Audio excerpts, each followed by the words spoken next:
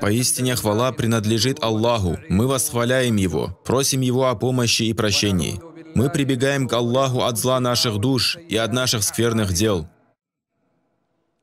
Того, кого Аллах поведет прямым путем, никто не собьет, а того, кого Он собьет, никто не сможет наставить. Я свидетельствую, что нет божества, кроме одного Аллаха, у которого нет сотоварищей, признавая Его и поклоняясь Ему одному. Также я свидетельствую, что наш пророк Мухаммад – его раб и посланник. Да благословит Аллах и приветствует его, его причистую семью, его жен, матерей верующих и тех, кто последовал его пути и осветился руководством Мухаммада, да благословит его Аллах и приветствует. О те, которые уверовали, бойтесь Аллаха должным образом и умирайте не иначе, как будучи мусульманами. О люди, бойтесь вашего Господа, который сотворил вас из одного человека, сотворил из него пару ему и расселил много мужчин и женщин, произошедших от них обоих. Бойтесь Аллаха, именем которого вы просите друг друга, и бойтесь разрывать родственные связи. Воистину Аллах наблюдает за вами. О те, которые уверовали, бойтесь Аллаха и говорите правое слово. Тогда Он исправит для вас ваши дела и простит вам ваши грехи. А кто повинуется Аллаху и Его посланнику, тот уже достиг великого успеха. А затем, о мусульмане, истинно бойтесь Аллаха, держитесь за свою религию самой надежной рукоятью. И знайте, что наши тела не вынесут адского огня братья по религии и по убеждениям.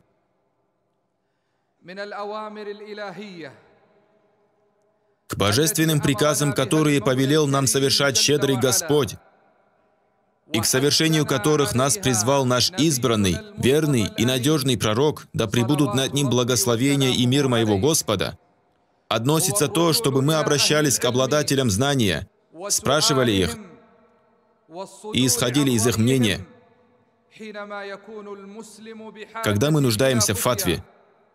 Всевышний Аллах повелел это своим верующим рабам, сказав, «И причист Он и возвышен. Если вы не знаете, то спросите обладателей напоминания».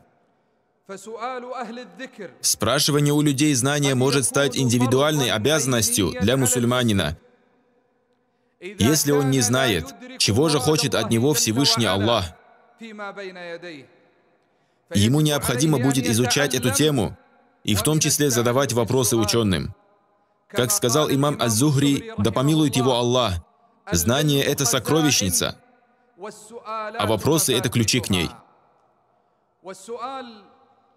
При обращении к ученым нужно выбирать того из них, кто обладает большими знаниями, кто более богобоязнен и благочестив. Потому что знание связано со страхом и боязнью Аллаха. Как сказал Всевышний Господь, боятся Аллаха среди Его рабов только обладающие знанием. О единобожники! Так же, как Всевышний Аллах повелел нам спрашивать обладателей напоминания и обращаться к ним с вопросами, Щедрый Господь, причист Он и возвышен, предостерег нас от одного опасного дела, на котором люди могут поскользнуться. Дело, которое совершают целые группы людей, когда они, не обладая знанием, наговаривают на Всевышнего Аллаха. Одна из самых страшных вещей, в которой люди попустительствуют,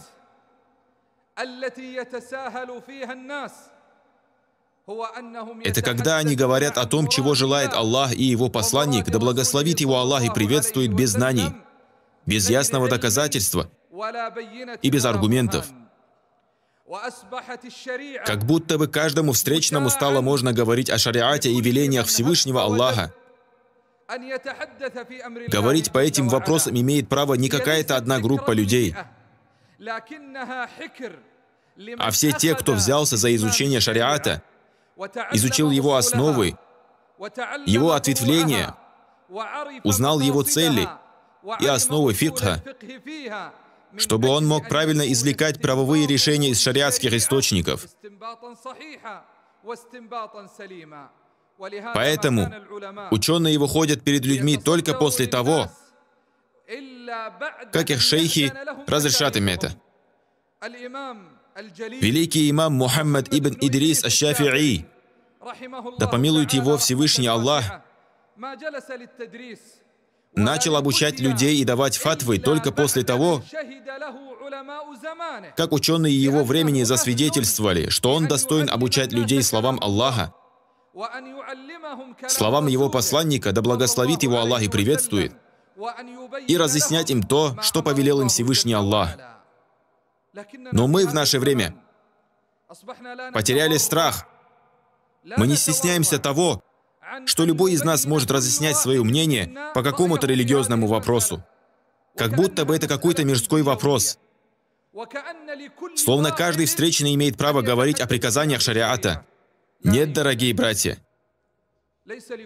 Не каждый из нас может говорить о шариате. Не каждый из нас может говорить, это халяль, а то харам. То, что ты мусульманин, не дает тебе права говорить, что разрешено, а что запрещено. Если ты образованный человек, это не значит, что ты можешь говорить о халяле и хараме. То, что ты получил диплом мирового класса, не дает тебе права говорить, что халяль, а что нет. Халяль и харам, и разговоры об этом должен вести только тот человек, в котором сочетаются определенные условия, и который исполняет то, что повелел Всевышний Аллах. Посмотрите на главы книг по основам фикха.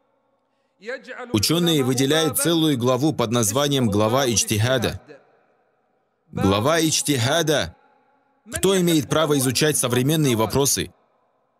Кто имеет право разъяснять, что в них халяль, а что харам? Ученые сказали, такой человек, мучтахид, должен подходить под несколько условий. Первое из них, чтобы он знал наизусть Коран и хорошо понимал аяты, в которых описываются шариатские законоположения, а также знал, что об этих аятах говорили ученые. Второе, чтобы такой человек знал сунну пророка, да благословит его Аллах и приветствует, в особенности хадисы, говорящие о правовых решениях. Также он должен знать, что о них говорили ученые.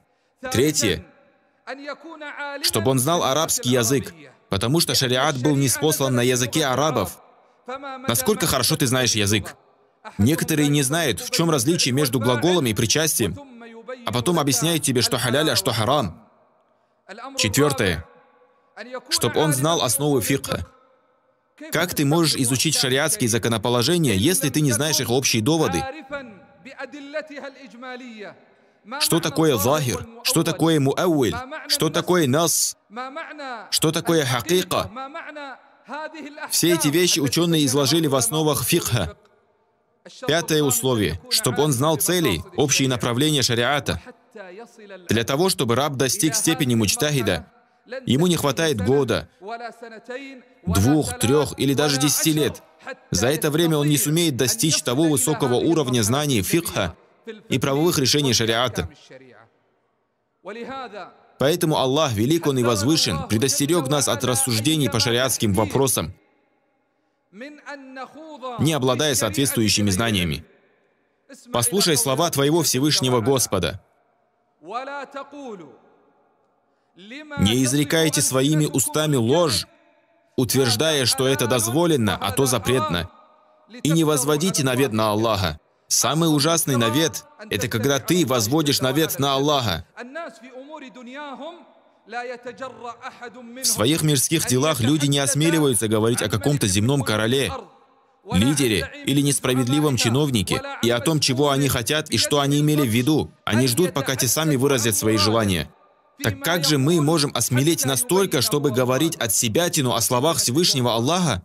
Когда Он Аль-Азиз, могущественный, Аль-Джаббар, могучий, Аль-Мунтаким, отмщающий, причислен возвышен. Самая ужасная клевета, самая ужасная клевета и самая страшная ложь – это когда мы возводим ложь на Аллаха и клевещем на Его посланника, мир Ему и благословение. Аллах сказал, «Скажи, что вы думаете об уделе, который не спаслал вам Аллах? Скажи, что вы думаете об уделе, который не спаслал вам Аллах? Часть которого вы объявили запретной, а часть дозволенной. Скажи, Аллах позволил вам это? Скажи, Аллах позволил вам это, или же вы возводите навет на Аллаха?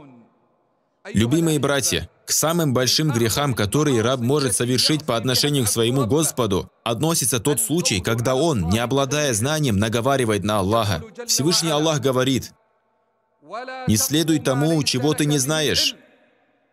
Воистину слух, зрение и сердце, все они будут призваны к ответу.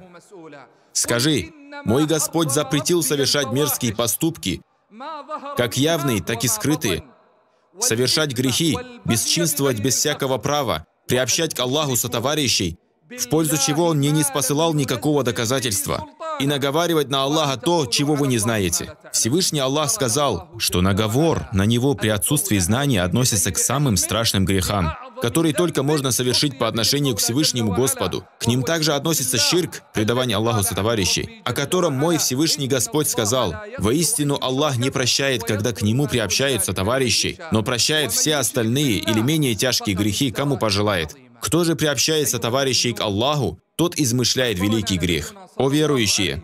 Наш пророк, да благословит его Аллах и приветствует, сообщил нам о том, как люди впадут в волнение и смуту, и как некоторые люди будут говорить о шариатских вопросах без знания.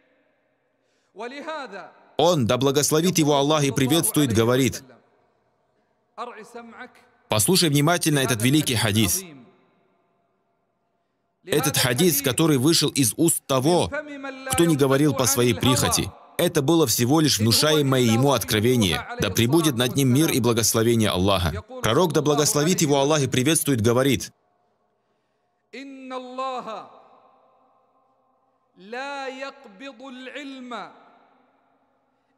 Поистине Аллах не заберет знания, выхватывая его из людей. Поистине Аллах и как говорится в другом хадисе, пророк, да благословит его Аллах и приветствует, сообщил нам, что один из признаков скорого наступления судного часа будет заключаться в нехватке знания. Поистине Аллах не заберет знания, выхватив его из людей.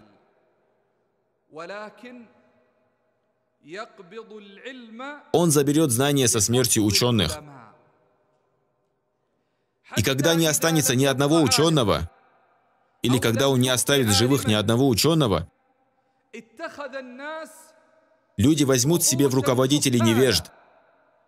Они будут задавать им вопросы, а те станут выносить решения без знания. В результате они сами собьются с пути и введут в заблуждение других. Кто будет способствовать формированию таких невежественных людей? Кто сделает их своими руководителями и главами? Само общество. И люди возьмут себе в руководителей невежд. Те невежды знают, что у них очень небольшой запас знаний. Но душа иногда склоняется к тому, чтобы следовать своим страстям. Она может возжелать то, что будет соответствовать ее желаниям и страсти, и общество внесет свой вклад в назначение невежественных руководителей. Они будут задавать им вопросы, и знание их будет очень слабым. В них будет мало религии, и они будут мало бояться Аллаха. Поэтому они вынесут фатвы без знания, и результатом будет то, что они сами собьются с пути, а также введут в заблуждение тех людей, которые назначили их, невежд, своими руководителями. О верующие! Нам обязательно нужно знать о положении муфтия и того, кто обращается к нему за фатвой. Ученые не разъяснили исключительно положение ученых, объясняющих, что харам, а что халяль. В своих книгах по основам фикха и по ичтихаду они также разъяснили, каким должен быть муфти, а каким тот, кто спрашивает у него фатву. То есть тот, кто задает вопрос и хочет узнать о том, чего желает Всевышний Аллах. Во-первых, он должен стремиться узнать истину со всеми ее далилями, доказательствами из книги Аллаха и сунны его посланника. Да благословит его Аллах и приветствует. Нужно, чтобы он хотел прийти к тому, что хочет Аллах, а не к страстям своей души.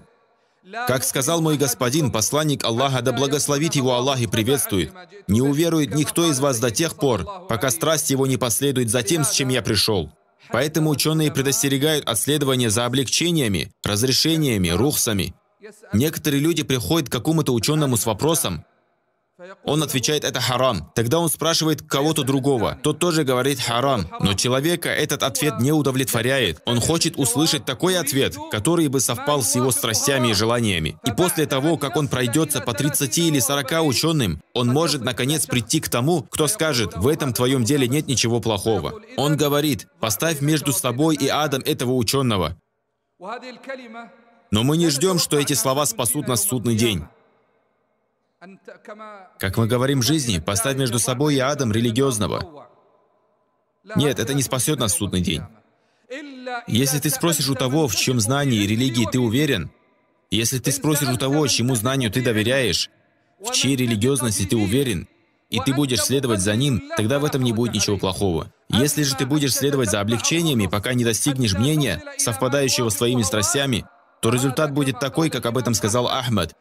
Имам Ахмад, да помилует его Аллах, сказал, «Тот, кто последовал за облегчениями, стал еретиком, потому что в конечном итоге такой человек отойдет от всего шариата полностью».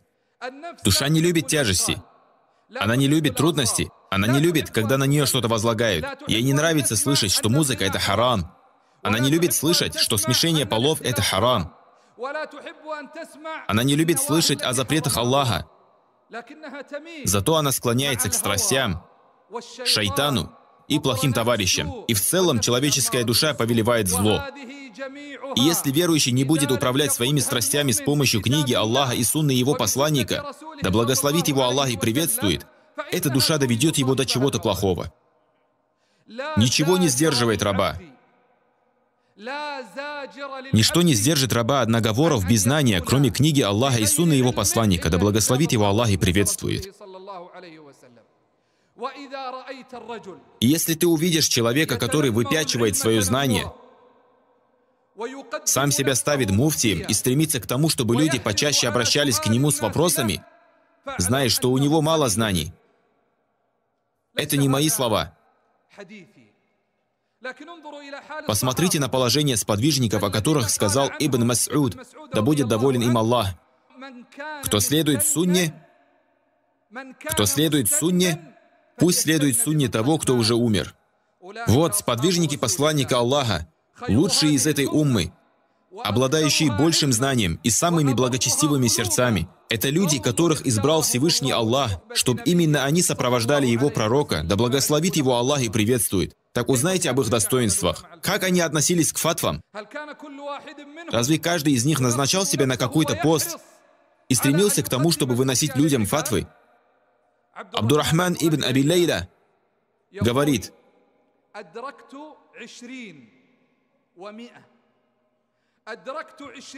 «Я застал 120 сподвижников посланника Аллаха, да благословит его Аллах и приветствует. И кого бы из них не попросили вынести фатву, он хотел, чтобы его брат избавил его от этого, так как каждый хотел, чтобы это сделал другой сподвижник. Они не соревновались между собой в этом. Они не стремились к вынесению фетв, хотя обладали знаниями, обладали достоинствами и были теми людьми, в присутствии которых не спосылался Коран. Они жили вместе с посланником Аллаха, да благословит его Аллах и приветствует. Они знали о насихе и мансухе, о халяле и хараме, о мухкаме и муташабихе, о муджмале и мубайяне. Они знали все эти законоположения, но несмотря ни на что, каждый из них хотел, чтобы его брат избавил его от вынесения фатв. Потому что это ответственность перед Всевышним Аллахом. Это нелегкое дело. Поэтому наш имам Ибн Каим, да помилует его Аллах, говоря о фатвах, написал свою великую книгу и назвал ее «И'лямуль муакки'ина ан Раббиль Аламин» Извещение о подписывающихся за Господа миров. Тот, кто говорит, что это халяль, а то харам, это то, чего желает Аллах, а это то, что хочет его посланник, он словно подписывается под этим вместо Аллаха и его посланника. И это непростое дело. Это нелегко. Поэтому ты можешь увидеть слова четырех имамов. Имама Малика, имама Шафи'i, имама Ахмада, имама Абу Ханифы. В их книгах ты можешь часто увидеть, что когда их о чем-то спрашивали, они отвечали «Мы не знаем». Аллах знает лучше. Мы изучим этот вопрос и потом ответим на него. Они ценили знания должным образом. Разве их слова «я не знаю» как-то умолили их достоинство? Но как сказал Аль-Хатибуль Багдади, да помилует его Аллах, тот, кто не будет говорить «я не знаю», погибнет. Если человек выносит фетвы по всем большим и малым вопросам, это указывает на слабость его убежденности. Сейчас некоторые могут выносить фетвы во время еды, дают фетвы, когда что-то пьют, дают фетвы, играя в футбол, дают фетвы в любом положении и в любое время. Когда шейх Мухаммад ибн Ибрахим, один из предыдущих муфтиев саудийских земель, да помилует его Аллах, когда он находился в машине, он не отвечал на вопросы. Он говорил, сейчас я не готов. Когда он хотел вынести фетву, он садился, собирался с силами, концентрировался на своем знании и только после этого разъяснял, что харам, а что халяль. Чем больше знаний у ученого, тем меньше фетв он дает. Чем больше знаний у ученого, тем меньше фетв он дает, так что стремись к такому человеку. И чем слабее его знание, тем больше у него фетв. Когда у ученого увеличивается знание, увеличивается его благочестие и богобоязненность, и знание о словах ученых, и как результат, его фетв становится меньше. Но если знаний у него мало, фетв становится больше. Это ясно и уже проверено. Любимые братья, когда человек выпячивает себя и выносит фетвы без знаний, это ответственность и того, кто выносит фетвы, и того, кто его спрашивает. Если бы люди поставили во главе себя великих, достойных ученых, как, например, тех, которые входят в организацию больших ученых и постоянный комитет, или других достойных ученых, тогда бы название муфтия и ученого не претендовал бы первый встречный. Также мы должны учитывать следующее. Когда некоторые люди слышат, как кто-то говорит, это слова Аллаха, слова Его посланника и слова ученых, Ему могут привести слова ученых, которые были выдуманы, и на самом деле они их не говорили. И сколько раз мы слышали от нашего шейха Абдуль-Азиза ибн База, да помилует его Аллах, или от Ибн Усеймина, или других, что такой-то вопрос относит к Шафи'i, хотя на самом деле он к нему не относился. Или же он ложно приписывается Абу Ханифе, или ложно приписывается имаму Ахмаду. Любимые братья, это не простой вопрос. Это наговор на Аллаха, Разве вы можете говорить на Аллаха без знания? Пророк, мир ему и благословение, говорит, «Пусть тот, кто намеренно возведет на меня ложь, готовится занять свое место в аду». Аллах подарил нам великих, благородных и достойных ученых. Их знание блистает, а благо возвышается по всему миру. Мы не будем искать то, что совпадает с нашими страстями. Напротив, мы будем изучать и стремиться к тому, что желает Аллах и что желает Его посланник. И давайте будем осторожны и не станем возводить на Аллаха ложь без знания. Не изрекайте своими устами ложь, утверждая, что это дозволено, а то запретно, и не возводите навет на Аллаха. О Аллах, спаси нас от явных и скрытых искушений и смут. О обладатель величия и великодушия. О умма Кур'ана. Тот, кто желает постичь истину, будет стремиться к ней и искать ее по-настоящему пока не достигнет спокойствия в своем сердце и покоя в душе. Ведь истина ясна, истина очевидна и явна. Все знают ее. Аллах разъяснил ее в своей книге, ее разъяснил нам наш пророк, да благословит его Аллах и приветствует в своей сунне. Пусть тот, кто хочет получить знания, стремится к ученым. Пусть посмотрит, кто из них лучше других знает книгу Аллаха и сунну посланника Аллаха. Пусть посмотрит, кто из них наиболее благочестив и богобоязнен, чтобы твое поклонение Аллаху происходило сознательно и аргументированно. Так ты осуществишь на практике слова твоего Всевышнего Господа. Если вы не знаете, то спросите обладателей напоминания. «О Аллах, научи нас тому, что принесет нам пользу. О Аллах, прибавь нам знание, следование прямому пути и богобоязненность. О Аллах, сделай нас, о обладатель величия и великодушия, из числа тех, кто следует за лучшими словами из тех, которые они слышали. О Аллах, облегчи нам путь к праведным деяниям. О Аллах, отдали нас от зла и наказания. О Аллах, облегчи нам наши дела. О Аллах, избавь нас от наших печалей. О Аллах, раскрой наши сердца. О Аллах, сделай нас теми, кто возвышает знамя «Ля иляха илля О Аллах, возвысь нас посредством этих слов и сделай их нашими последними словами в этой дуне. О слышащий мольбы, о Господь миров. О Аллах, мы просим у Тебя боящихся сердец, плачущих глаз, поминающих Тебя языков и терпеливых тел. О Аллах, привей нам любовь к вере и представь ее прекрасной для наших сердец. О Аллах, сделай для нас ненавистным неверие, нечестие и ослушание, и сделай нас из числа благоразумных, идущих по прямому пути людей. О Аллах, помоги Твоим рабам-единобожникам. О Аллах, помоги мусульманам по всей земле. О Аллах, окажи им помощь. О Аллах, осчастлив наши сердца, обрадуй нас видом могущества ислама и победы мусульман. О Аллах, покажи чудеса Твоей мощи на тех, кто возжелает зла нашей стране, ее безопасности, ученым и жителям. О Аллах, покажи нам на них чудеса Твоей мощи. О Аллах, сохрани для нас нашу религию, которая является нашей защитой, и сохрани для нас нашу мирскую жизнь, в которой мы живем.